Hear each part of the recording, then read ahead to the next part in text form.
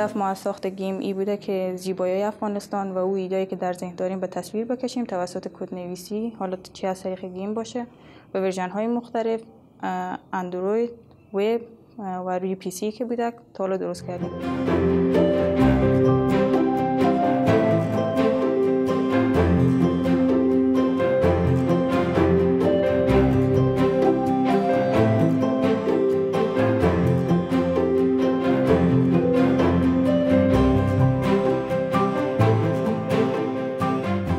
مردم افغانستان خیلی نیاز دارن به گیم هایی باشه که آموزشی باشه و در سطح دانش اطفال از اینا تغییر بیاره. خیلی برشون مهم است.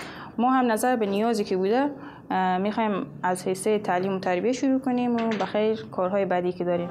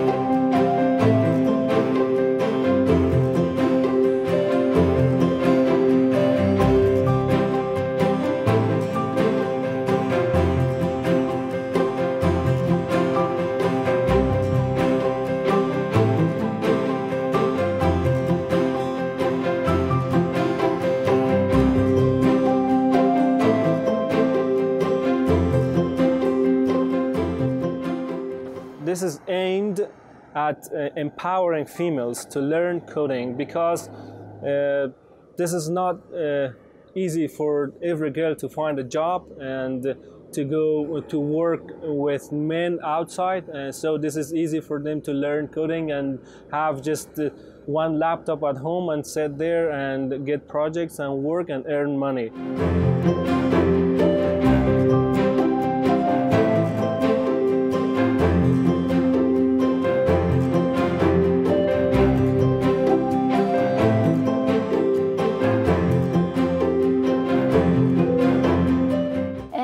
اولی که من درباره coding شنیدم خنده گرفت بعد گفتم coding چی معنا میده؟ وقتی که چند تا کد کار کردیم و دیدم که مثلا همین اشخاصی که این رقم من فکر می‌کردم که خیلی ذهن و خلاقی دارن اینا از این طریق داشتن همین وبسایت ها یا همین چیزا رو آماده می‌کردن به من خیلی جالب بود.